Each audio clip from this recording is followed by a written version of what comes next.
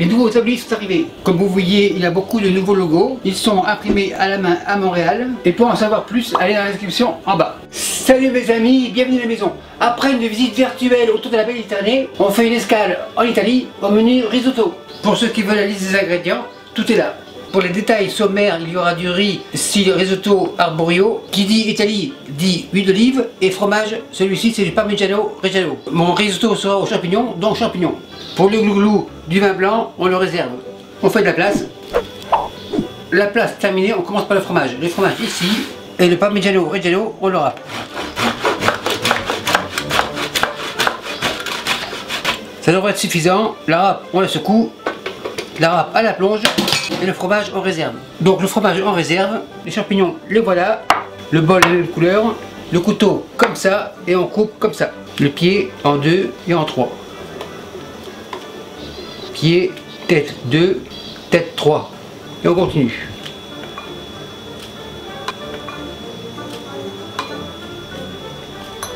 Un dernier, celui-ci est petit, champignon coupe 2. Bol, couteau, plonge. Et les champignons, on les réserve. À ce stade-là, on passe aux oignons. L'assiette comme ça, les oignons sont comme ça, donc couteau comme ça. Et on coupe finement. En lamelle, lamelle égalise et on émince. Les rescapés, on les coupe, impeccable. On continue en lamelle, lamelle tourne en petit dé, rescapé. Le petit couteau n'est pas assez large, transporteur, oignon comme ça. Transporteur en réserve, et on continue. Le petit couteau a bien travaillé, le bol à la plonge, le couteau à la plonge, transporteur et on transporte. Super nickel, transporteur ira se transporter à la plonge. La mise en place terminée, les mains lavées, la table lavée, on passe à la cuisson. On commence par le champignon, poêle, feu à fond, ma poêle est à 100 degrés, huile d'olive spéciale cuisson, un petit fond, on égalise, comme toujours, champignons dans la poêle, le bol à la plonge, on fait un tourne, tourne, et on va les faire suer un maximum jusqu'à une légère coloration. Entre temps, un peu de sel, on dégaine, tourne et retourne, et on laisse suer tranquillement.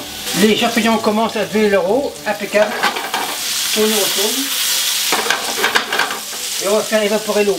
Les champignons commencent à avoir une belle coloration, tourne et retourne, feu éteint, couvercle, et on les tient au chaud. Maintenant le riz, feu à fond, et maintenant encore 100 degrés Celsius. Pour le riz, mon chaudron est à 100 degrés Celsius, un fond d'huile, spatule, on égalise, les oignons comme ça. L'assiette plonge, on égalise et on fait suer sans coloration. Les oignons sont sués translucides sans coloration, le riz un demi-litre, marise, tourne et retourne, et on fait nacrer le riz de façon qu'il soit translucide comme les oignons. C'est un peu comme le riz pilaf, sauf que celui-ci est cuit sur le fourneau et pas au four.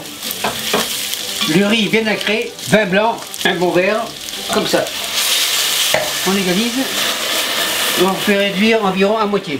On remue continuellement, on fait un tourne et retourne, le feu on le baisse, on fait mijoter tranquillement. En fait le vin blanc servira pour le début de la cuisson. Le riz a commencé à absorber le vin, impeccable. Mesure, bouillon de poulet, un demi-litre de riz, un demi de bouillon. Et on mouille. Enfin, tourne et retourne. On porte à ébullition. Une légère ébullition est arrivée. On en a pour 15 minutes. Contrairement au riz pilaf que l'on fait cuire dans le four, que l'on ne doit pas remuer en cuisson, celui-ci, aucun problème, on peut le remuer comme ça.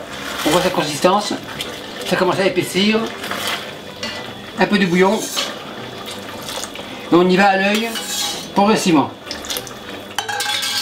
Enfin, on retourne, et on a pour encore 11 minutes de cuisson. Après 15 minutes, ça devrait être prêt. C'est chaud, le gant, on remue, impeccable, très pâteux, numéro 1. Bouillon de poulet, on ajoute un petit peu, encore un peu.